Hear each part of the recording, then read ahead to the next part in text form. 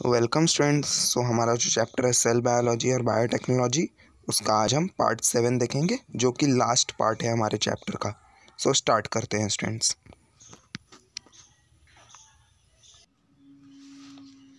सो students पिछले video में हमने कुछ रेवोल्यूशंस के बारे में पढ़ा था। ग्रीन रेवोल्यूशंस वाइट रेवोल्यूशन और ब्लू रेवोल्यूशंस देखा था कि किस तरह से कुछ नए नए डेवलपमेंटल स्टेजेस आए थे हमारे एग्रीकल्चर फ़ील्ड में इंडियन एग्रीकल्चर फ़ील्ड में। देखा था कि ग्रीन रेवोल्यूशन से क्या हुआ था? वाइट रेवोल्यूशन से कैसे प्रोटीन्स की नीड पूरी हुई थी? और ब्लू रेवोल्यूशन से हम लोग क्या कर रहे थे? एक्वेटिक एनिमल्स को पाल रहे थे। उसके बाद हमने देखा था कि हमने फर्टिलाइजर्स का कैसा यूज़ किया है। हमने देखा था कि दो टाइप्स के फर्टिलाइजर्स होते हैं ऑर्गेनिक मैन्योर होता है और एक केमिकल फर्टिलाइजर्स होता है स्टूडेंट्स सो so, हमने समझा था पिछले वीडियो में कि क्या होता है ऑर्गेनिक फर्टिलाइज़र क्या होता है केमिकल फर्टिलाइज़र सो अब देखते हैं कि इंसेक्टिसाइड क्या होता है? इंसेक्टिसाइड्स सो so, देखते हैं. सो so, जो यहाँ पे यूरिया है वो क्या है स्टूडेंट्स फर्टिलाइजर्स हैं. और यहाँ पे जो डी पाउडर्स लिखा है स्टूडेंट्स ये इंसेक्टिसाइड्स है एक टाइप के। सो इन इंसेक्टिसाइड्स वर्ड का मतलब पहले समझना क्या होता है? इंसेक्टिसाइड इंसेक्ट मतलब इंसेक्ट किलिंग केमिकल क्या स्टूडेंट्स इंसेक्ट किलिंग केमिकल्स को हम क्या बोलते हैं? इंसेक्टिसाइड्स बोलते हैं। Though the natural immunity of plant can prevent the infection use of insecticide is not under control ठीक है स्टूडेंट जो भी डिज़ीज़ वगैरह होते हैं, जो भी प्लांट के डिज़ीज़ वगैरह हैं, वो तो प्लांट की नेचुरल इम्यूनिटी संभाल लेती है। पर जो बाहर से प्लांट को हार्म कर रहे हैं, जैसे कि इंसेक्ट्स हो गए, इसलिए हम, इसलिए जो इंसेक्टिसाइड्स का यूज़ है, वो क्या है? कंट्रोल में नहीं आ रहा है। क्या हो रहा है स्टूडेंट्स इंसेक्टिसाइड का जो यूज़ है, वो कंट्रोल में नहीं आ क्यों नहीं यूज़ आ रहा है क्यों नहीं कंट्रोल में आ रहा है स्टूडेंट्स वो? क्योंकि इम्यूनिटी तो प्लांट्स के अंदर से है। वो डिज़ीज़ से बचा रही है, पर जो इंसेक्ट है वो प्लांट को बाहर से हार्म करते हैं। क्या करते हैं? प्लांट्स को बाहर से हार्म करते हैं, इसलिए फार्मर्स क्या करते हैं? इंसेक्टिसाइड्स का यूज़ करते हैं, जिसके वजह से इंसेक्टिसाइड का यूज़ इतना हो गया है कि वो कंट्रोल में नहीं है। Irrespective of natural friends of farmers like frogs and insectivorous birds, pesticides are used on large scale for increase in yield so students जैसे कि फार्मर्स के नेचुरल फ्रेंड हो गए, जैसे कि फ्रॉग्स फ्रॉग्स क्या करते हैं? इंसेक्ट्स को खाते हैं. इंसेक्टिवोरस बर्ड्स इंसेक्टिवोरस बर्ड्स क्या करते हैं? इंसेक्ट्स को खाते हैं. इनके जगह पे पेस्टिसाइड्स का यूज़ क्या हो गया? ज़्यादा हो गया है स्टूडेंट्स पहले कैसे होता था स्टूडेंट्स पहले जब इंसेक्टिसाइड पेस्टिसाइड्स नहीं हुआ करते थे इंसेक्टिसाइड नहीं हुआ करते तो क्या होता था स्टूडेंट्स जो फ्रॉग होते थे इंसेक्टिस वॉरस बर्ड्स होते थे फार्मर्स उस पर ही डिपेंड होते पर अब क्या कर रहे हैं? वो पेस्टिसाइड्स और इंसेक्टिसाइड्स को ज़्यादा यूज़ कर रहे हैं किस लिए? इंक्रीज़ करने के लिए एल्ड को इंक्रीज़ करने के लिए। पर जो पेस्टिसाइड्स और इंसेक्टिसाइड क्या होते हैं? वो पॉइजनस रहते हैं हार्मफुल रहते हैं स्टूडेंट्स तो यहाँ पे लिखा है pesticides are in fact a type of poison this poison enters the food web through water and food and its biomagnification occurs तो जो पेस्टिसाइड्स और इंसेक्टिसाइड्स है, वो क्या है स्टूडेंट्स वो पॉइजन है, एक टाइप के जहर हैं स्टूडेंट्स और ये जहर क्या करते हैं? ये फ़ूड और पानी के द्वारा क्या करते हैं स्टूडेंट्स हमारे बॉडी में एक्यूमुलेट होने लगते हैं. क्या करते हैं? हमारे किसी भी ऑर्गेनिज्म किसी भी लिविंग ऑर्गेनिजम्स के बॉडी में क्या करने लगते हैं? एक्यूमुलेट होने लगते हैं. समझो एक फार्म है स्टूडेंट्स वहाँ पे आपने क्या किया? इंसेक्टिसाइड और पेस्टिसाइड्स को डाल दिया। अब वो इंसेक्टिसाइड और पेस्टिसाइड्स क्या होंगे स्टूडेंट्स प्लांट्स लेंगे। और वो प्लांट्स क्या होगा स्टूडेंट्स वो प्लांट्स हम खाएँगे। और हम खाएँगे तो क्या होगा? वो जो केमिकल है, वो जो पॉइजन है स्टूडेंट्स पेस्टिसाइड है इंसेक्टिसाइड है, वो क्या होगा स्टूडेंट्स हमारे बॉडी में थोड़े थोड़े अमाउंट में क्या होगा? वो एक्यूमुलेट होने लगा जिसे हम क्या बोलते हैं? बायो क्या बोलते हैं स्टूडेंट्स बायो जो भी केमिकल है, जो भी पॉइजनस केमिकल है, वो क्या होता है स्टूडेंट जब एक्यूमुलेट होने लगता है किसी भी ऑर्गेनिजम्स के बॉडी में तो उसे हम क्या बोलते हैं? बायो मैग्निफिकेशन बोलते हैं। क्या बोलते हैं स्टूडेंट्स बायो मैग्निफिकेशन बोलेंगे। तो ये कैसे होता है स्टूडेंट्स ये वाटर और फ़ूड में मिल के आता है। जैसे कि हमने पेस्टिसाइड और इंसेक्टिसाइड डाल दिया तो ग्राउंड वाटर में भी ये जो पेस्टिसाइड और इंसेक्टिसाइड है, वहाँ पे जाएगा। अगर हम उस वाटर को लेते हैं तो हमारे बॉडी में वो पॉइजन क्या होगा? धीरे धीरे वो केमिकल क्या होगा स्टूडेंट्स धीरे धीरे एक्यूमुलेट होने लगा जिसे हम बोलते हैं biomagnification various pesticide like D D T D D T मतलब होता है die chloro die phenyl try chloro ethane तो डीडीटी मतलब क्या होता है students die chloro diphenyl try chloro ethane ये पहले बहुत ज़्यादा यूज़ होता था बट अब भी इसे शायद बैन कर दिया गया है स्टूडेंट्स डीडीटी है जो, उसे बैन कर दिया गया है. डी डी जो पाउडर है, उसे बैन कर दिया क्योंकि ये बहुत ही हार्मफुल पेस्टिसाइड है स्टूडेंट्स क्या है? Die chloro diphenyl try chloro ethane malathion chlorpyrifos etcetera तो ये ये क्या है? ये कुछ पेस्टिसाइड्स और इंसेक्टिसाइड जो यूज़ होते हैं फार्म्स में फ़ार्मिंग में have been prove to be नहीं। तो जो भी ये सब थे वो क्या हुए? बहुत ज़्यादा डेंजरस प्रूव हुए हैं। क्या हुए? बहुत ज़्यादा डेंजरस प्रूफ हुए हैं ये सब। तो जो इंसेक्टिसाइड्स है उसे हमें नहीं यूज़ करना चाहिए स्टूडेंट्स क्या करना चाहिए? उसे नहीं यूज़ करना चाहिए। सो so, अब हम देखते हैं ऑर्गेनिक फ़ार्मिंग। अब जो इंसेक्टिसाइड, इस पर आपको नोट लिखने आ सकता है, write short note. Organic farming पे भी आपको शॉर्ट नोट लिखने आ सकते हैं, स्टूडेंट्स। तीन से दो मार्क्स, दो से तीन मार्क्स के लिए आपको शॉर्ट नोट्स लिखने को आ सकते हैं। आगे देखते हैं ऑर्गेनिक फ़ार्मिंग क्या होता है, students. Nowadays organic farming and organic products have become buzzword so जो ऑर्गेनिक फ़ार्मिंग है क्या है स्टूडेंट्स जो ऑर्गेनिक फ़ार्मिंग है, अभी के टाइम में वो बहुत ही चर्चे में है स्टूडेंट्स क्या है? बहुत ही ज़्यादा चर्चे में। बस वर्ड लिखा है ना यहाँ स्टूडेंट्स उसका मतलब होता है बहुत ही चर्चित मतलब बहुत ही चर्चे में ये सब हो रहा है स्टूडेंट्स ऑर्गेनिक फ़ार्मिंग की बातें हो रही है ऑर्गेनिक प्रोडक्ट्स की बातें हो रही हैं students organic products are being available and demand for them is ever increasing तो जो ऑर्गेनिक प्रोडक्ट्स है, वो अभी क्या होने लगे? अवेलेबल होने लगे और इनका डिमांड भी क्या होते है बढ़ते ही जा रहा है। वो ऑर्गेनिक प्रोडक्ट्स क्या होते हैं? ऑर्गेनिक प्रोडक्ट्स वो होते हैं जो हम ऑर्गेनिक फ़ार्मिंग करके जो प्रोडक्ट्स हमें मिलता है, उसे हम क्या बोलते हैं? ऑर्गेनिक प्रोडक्ट्स बोलते हैं। अब मैं आपको पहले बता देता हूँ ऑर्गेनिक फ़ार्मिंग होता क्या है स्टूडेंट्स सो ऑर्गेनिक फ़ार्मिंग मतलब होता है without any use of chemical fertilizer insecticide pesticides इनका कोई यूज़ नहीं करना है स्टूडेंट ना कि कोई जेनेटिकली मॉडिफाइड क्रॉप्स का भी हमें यूज़ नहीं करना है स्टूडेंट्स सो उसे हम क्या बोलते हैं? ऑर्गेनिक फ़ार्मिंग बोलते हैं। जो भी होगा नेचुरली होगा स्टूडेंट्स हम नेचुरल मेथड्स को यूज़ करेंगे। हम बी हाइव्स को लगाएँगे अपने फार्म्स के बाजू में ताकि पॉलिनेशन हो। ना हम किसी मॉडिफाइड चीज़ों का नहीं इस्तेमाल करेंगे ना हम किसी केमिकल फर्टिलाइजर्स का इस्तेमाल करेंगे हम जो खाद रहेगा वो मैन्योर इस्तेमाल करेंगे ऑर्गेनिक मैन्योर्स का उधर पे इस्तेमाल करेंगे फर्टिलाइजर्स के लिए। सो so, ये ये जिस ये फ़ार्मिंग को हम क्या बोलते हैं स्टूडेंट्स ऑर्गेनिक फ़ार्मिंग बोलते हैं। क्या बोलते हैं उसे? ऑर्गेनिक फ़ार्मिंग बोलते हैं। यहाँ पे हमारा कोई भी केमिकल फर्टिलाइज़र नहीं यूज़ होगा, कोई भी पेस्टिसाइड यूज़ नहीं होगा, कोई भी इंसेक्टिसाइड यूज़ नहीं होगा, कोई भी जेनेटिक मॉडिफाइड प्लांट नहीं यूज़ होने वाला है। स्टूडेंट्स, यहाँ पे जो भी होगा सब नेचुरली होने वाला है। हम बी हाइव्स को लगा सकते हैं अपने फार्म्स के बाजू में ताकि हमारा पॉलिनेशन का प्रोसेस अच्छा हो, ताकि हमारी प्रोडक्टिविटी बढ़ सके। सो ये सब हम कर सकते हैं, स्टूडेंट्स। ऑर्गेनिक फ़ार्मिंग में और हम मैन्योर्स का इस्तेमाल करेंगे काउडंग्स का इस्तेमाल करेंगे फर्टिलाइजर्स के लिए students chemical fertilizers and pesticides have been use on large scale this poison chemical reach the human body through food and water and their adverse harmful effect on human and environment become apparent so जो normal farming था students उसमें क्या होता था student chemical fertilizer, chemical pesticide, insecticide बहुत ही ज़्यादा use होने लगा था। और इन सब पॉइजनस केमिकल्स का हमारे बॉडी पे असर दिख रहा था ह्यूमन बॉडी पे असर दिख रहा था, क्योंकि ये केमिकल्स क्या करते थे स्टूडेंट्स ये प्लांट्स के साथ भी मिल जाते थे और ग्राउंड वाटर के साथ भी मिल जाते थे और हमारे वाटर रिसोर्सेज के साथ भी ये मिल जाते थे, ये पॉइजन और धीरे धीरे हमारे बॉडी में एक्यूमुलेट होने लगते थे स्टूडेंट्स क्या होने लगते थे? धीरे धीरे हमारे बॉडी में एक्यूमुलेट होने लगते थे और ये ह्यूमन्स पे भी इफ़ेक्ट डालते थे एज वेल एज इन्वायरमेंट पे भी ये इफ़ेक्ट डालते थे। तो यहाँ पे उसका इफ़ेक्ट हमें क्लियरली दिख रहा है। पेरेंट मतलब होता है स्टूडेंट्स क्लियरली क्या होता है? Clearly various problems like soil fertility and pest infestation have become serious.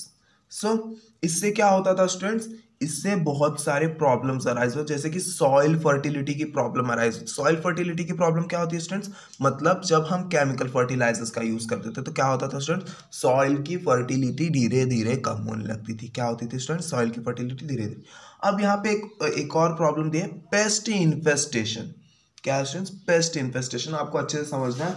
अब अब ये इतना है जो मेरा फार्म है स्टूडेंट्स इतना क्या है? इतना मेरा फार्म है, इतना मेरा खेत है स्टूडेंट्स और ये सब आजू बाजू का एरिया है। अब मैं अपने फार्म में क्या करूँगा स्टूडेंट्स अपने फार्म में मैं इंसेक्टिसाइड और पेस्टिसाइड्स का यूज़ करूँगा। क्या करूँगा? इंसेक्टिसाइड और पेस्टिसाइड्स का यूज़ करूँगा। तो जितने भी इंसेक्ट और पेस्टिसाइड्स होंगे, वो क्या करेंगे स्टूडेंट्स ये मेरे फार्म को छोड़ के दूसरे जगह जाएँगे। क्या करेंगे? मेरे फार्म को छोड़ के क्या करेंगे? दूसरे जगह जाएँगे। तो अब क्या हो रहा है स्टूडेंट्स अब ये जो फैले हुए इंसेक्टिसाइड्स इंसेक्ट्स थे और पेस्ट थे, वो क्या हो रहे हैं? यहाँ पे आ गए। अब ये क्या हो रहे हैं? यहाँ पे एक ही जगह पे जमा हो जा रहे हैं।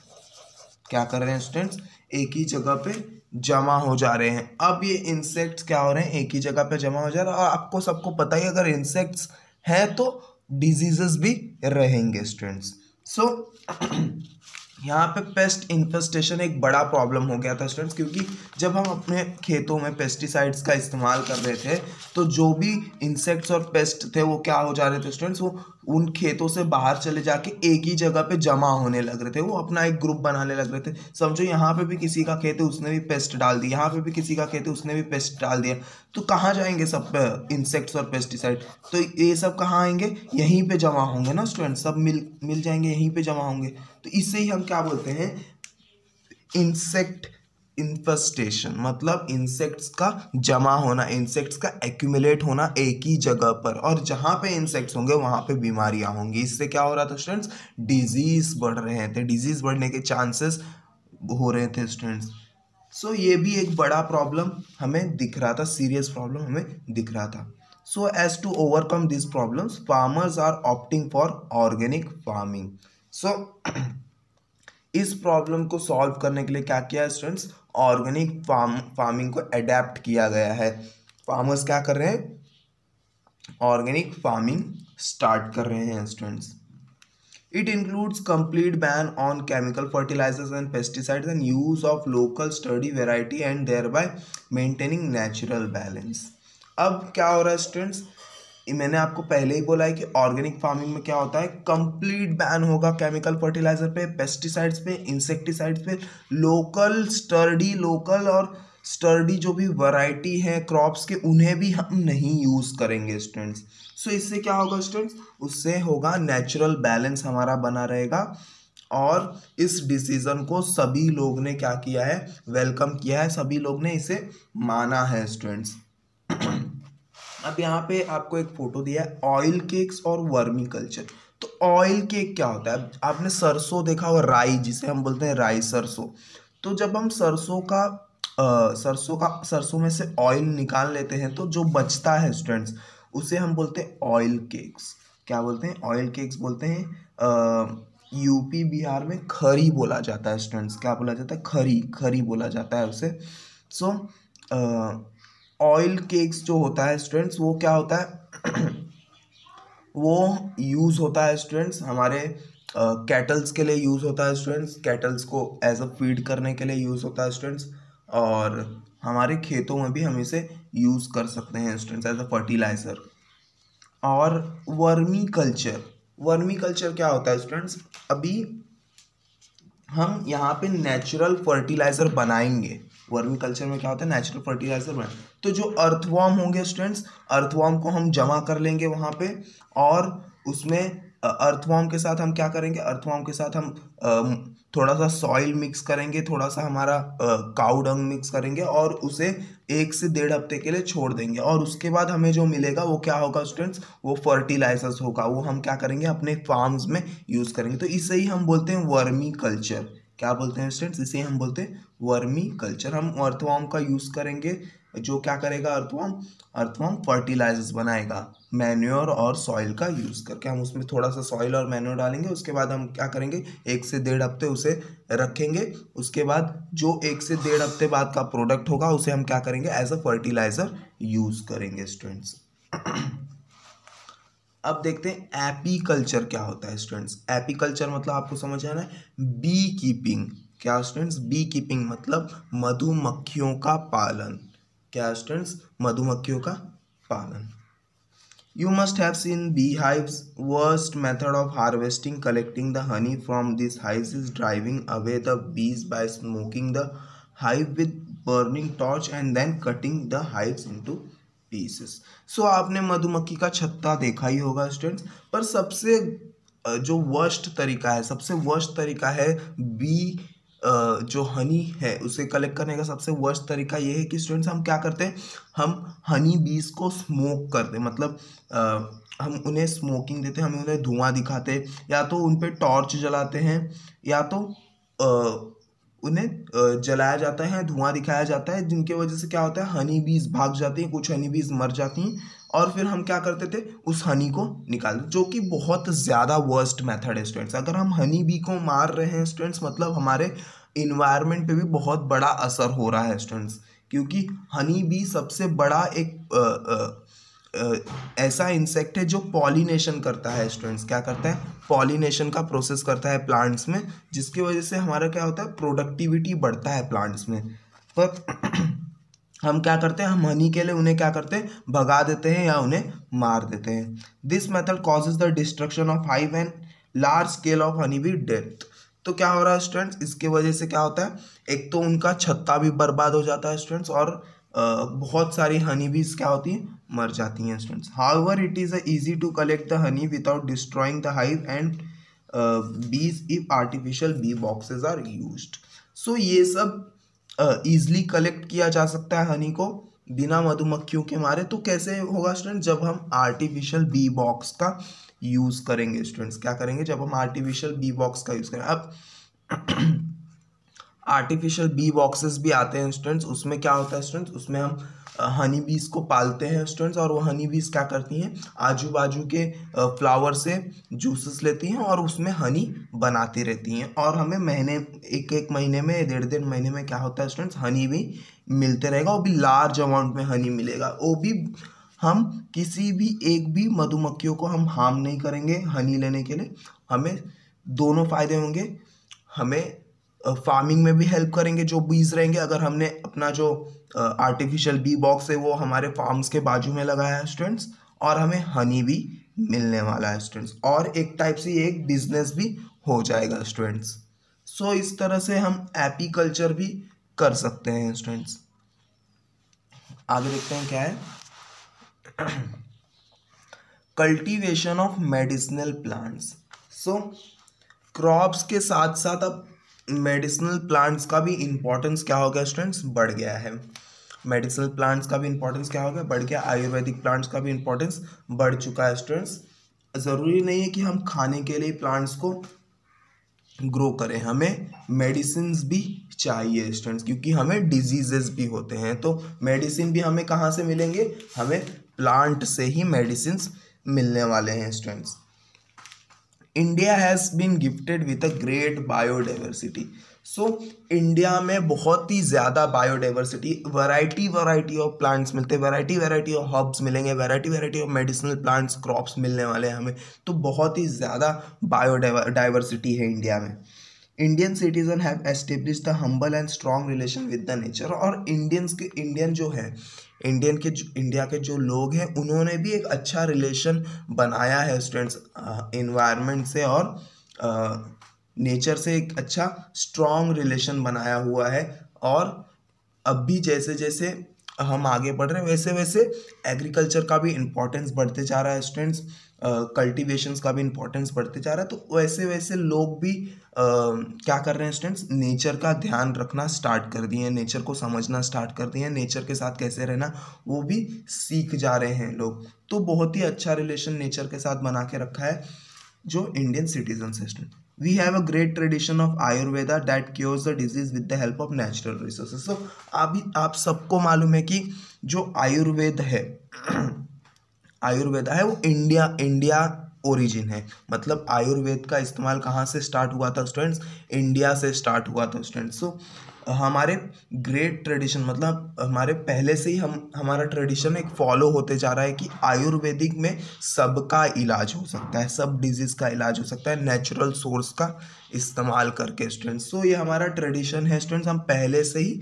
मेडिसिनल प्लांट्स को यूज़ करते आ रहे हैं हमारे डिज़ीज़ को ठीक करने के लिए स्टूडेंट्स और हरदम हम नेचुरल रिसोर्सेज का ही इस्तेमाल करते हैं हमारे डिज़ीज़ को ठीक करने के लिए स्टूडेंट्स यहाँ पे कुछ एग्जांपल दिए हैं, जैसे कि आधा तोड़ा वसीका, जिसे अडुलसा भी बोलते हैं, और मेलिया आजार डिका, जिसे हम नीम भी बोलते हैं। ये बहुत ही ज़्यादा यूजफुल प्लांट्स होते हैं स्टूडेंट्स क्या होते हैं?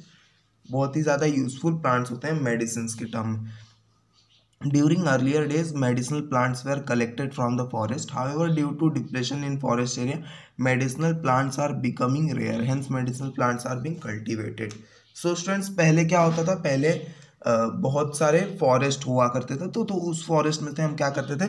मेडिसिनल प्लांट्स को हम कलेक्ट करते थे और मेडिसिन बनाते थे स्टूडेंट्स पर।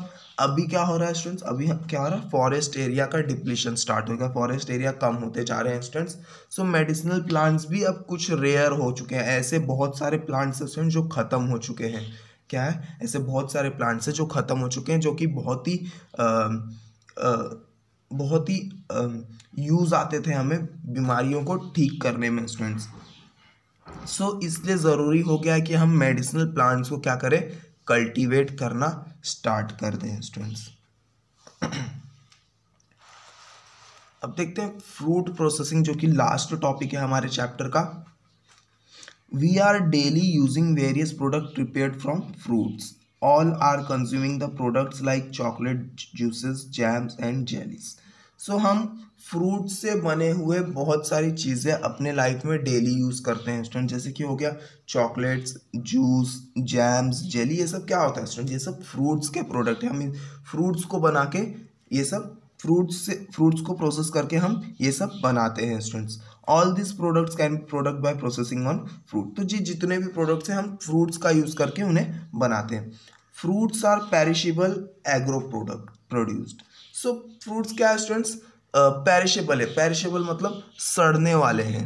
फ्रूट्स कैसे होते हैं स्टूडेंट्स एक हफ़्ते ज़्यादा से ज़्यादा एक हफ़्ते चलेंगे स्टूडेंट्स उसके बाद वो क्या हो जाएँगे स्टूडेंट्स सड़ने लगते हैं students it needs the processing in such a way that it can be use throughout the year तो ज़रूरी है कि उन्हें हम ऐसा प्रोसेस करें कि वो एक से डेढ़ साल क्या हो जाए, चल जाए students Food processing includes various methods ranging from storage in cold storage to drying, salting, airtight packing, preparing murabba, evaporating etc.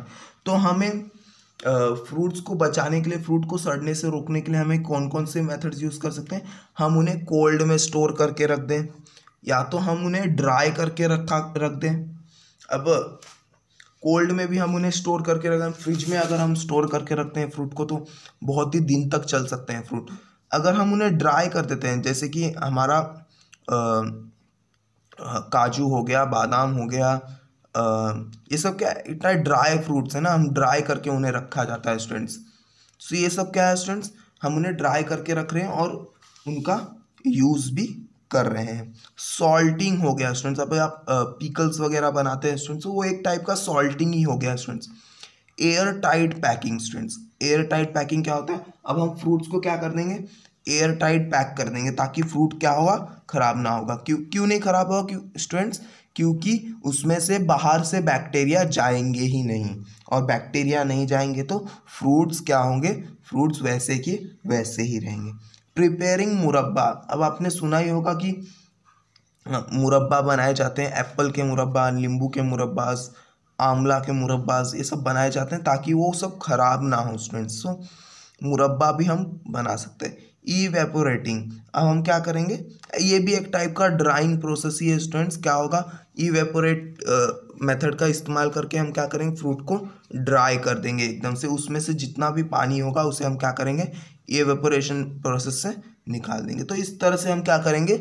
Fruits को बचा सकते हैं। साल, डेढ़ साल तक हम उन्हें बचा सकते हैं। और हमारे प्रोडक्ट्स बनाने में हम यूज़ कर सकते हैं स्टूडेंट्स सो आई होप आपको समझा होगा। और जो हमारा चैप्टर है सेल बायो बायोलॉजी और बायोटेक्नोलॉजी यहाँ पे एंड होता है स्टूडेंट्स सो आई होप आपको सब सभी चीज़ें समझी होगी। सो so, हमने इसमें सेल बायोलॉजी पढ़ा था स्टूडेंट्स स्टेम सेल्स देखा था बायोटेक्नोलॉजी और उसके एप्लीकेशन देखे। Important stages in development of agriculture हमने देखा स्टूडेंट्स सो आई होप आपको ये चैप्टर समझा होगा स्टूडेंट्स सो बहुत ही इंफॉर्मेटिव चैप्टर था ये वाला स्टूडेंट्स और बहुत ही हमें आ, बहुत ज़्यादा इंफॉर्मेशन हमें मिला है इस चैप्टर से. सो आई होप आपको ये चैप्टर समझा होगा स्टूडेंट्स सो नेक्स्ट वीडियो में एक नए चैप्टर के साथ हम मिलेंगे स्टूडेंट्स नया चैप्टर स्टार्ट करेंगे अपना. सो थैंक यू स्टूडेंट्स मिलते हैं अगले वीडियो में.